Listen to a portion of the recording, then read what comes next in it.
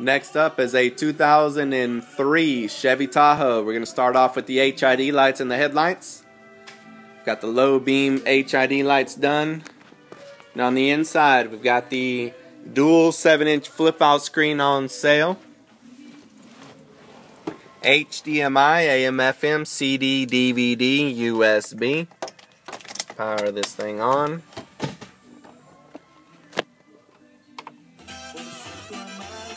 Open it up. Multicolored, has the USB tab right behind here. We did the HDMI cable into the cubby hole. It's already plugged up with the phone. Turn that on. Go to menu. Go to dual mirror.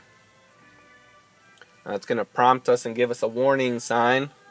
All we have to do is push the accept button.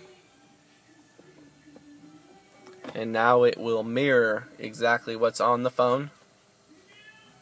Okay. Now we'll go to a YouTube video. Hit play. And it'll start going. Next up here, innovative 2011 Chevy Silverado. it'll play YouTube Netflix anything that you have going on on the phone, it will immediately mirror onto it. That's why it's called the dual mirror. It'll work on Android and iPhone. Now we will get out of that and go back to the radio. It also is a DVD. It will play original and bootlegs. I'll put a DVD in now. Watch movies on the go. This in-dash screen comes in handy when you're going on a road trip.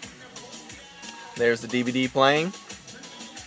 It is a detachable face. The bottom panel will detach.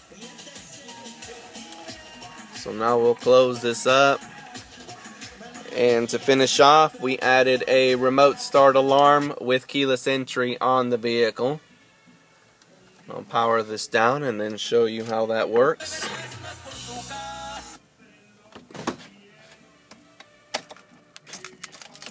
Alright. Here's the remote. Lock, unlock, remote start.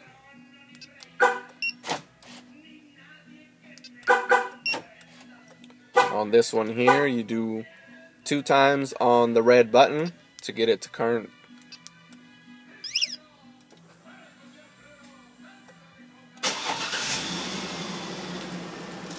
There, the engine is turned on. It'll run for 20 minutes. After 20 minutes, it'll shut down on its own. If you want to turn it off, you simply push the red button two times again to turn it off. There, it already indicated that the engine did turn over. And we turn it off by remote, and it's all set. Give us a call, 214 320 5500. See you guys on the next one.